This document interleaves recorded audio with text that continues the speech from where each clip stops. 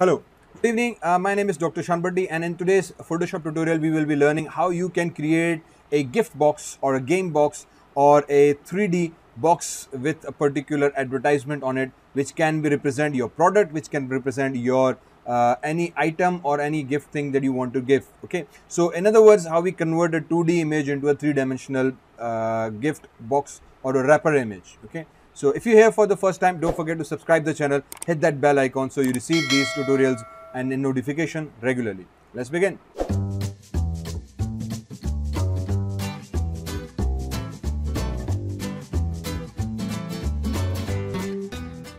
So uh, for example, we have this image of a car. Uh, once we uh, open this image, then next step is that we go and click on the new file and we also create a new file. Now width in my case I just give you 400 400 pixels that should do the trick click open okay then uh, let's just come into the filter under render we have something called 3D transform.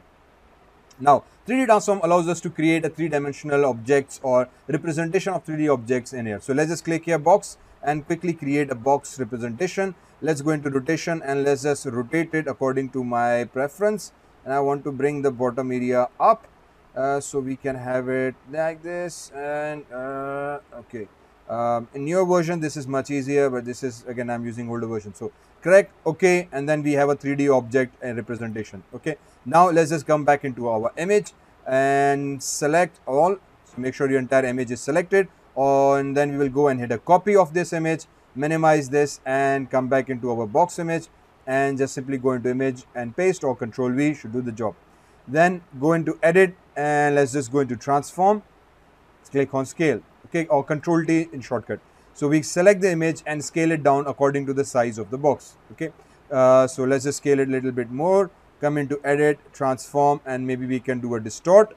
Now distort basically allows us to change the image non-uniformly. Okay uh, skew can also work but distort sometimes gives me a better result. And I adjust the boxes. So you can see this this is now changing irregularly okay? So just change the box and make sure the image is distorted and fixed according to the your box pattern. And already you can see this this has started to create our uh, basic box shape. Uh, just adjust the corners i think that should do the trick okay? So now we have box. Click enter. Now let's just go into background layer uh, select the um, let's just select the magic wand and select the box area. Let's just also give it i think black color should do the job. Uh, web colors dark light gray um, paint. Let's just paint it dark gray. Uh, and similarly select this uh, click ok. And select the side with the magic wand and come back here and click this black. Okay. So we have one side pure black and other is like just gray so we get a better effect. Now come into text tool. Let's just go into color use the white color on your box. I think that would do the trick. And a layer layer layer. Okay yes. Okay so now we come here and let's just write for example need for speed. Okay uh, and as, as we know the text again appears in a straight order. Now we need to ensure the text is again edited and changed. So we just rasterize it. We come into free transform again and distort. Same technique okay now we just adjust the boxes area so that they appear in the same distorted manner. In this case reduce the size come back here. And that's the trick. One box area other box corner. And now you can adjust. So just make sure it doesn't look very strange and the distortion portion is uh, accurate. Uh, so just increase this size. Uh, I think that should be okay. Similarly maybe this one this little bit more.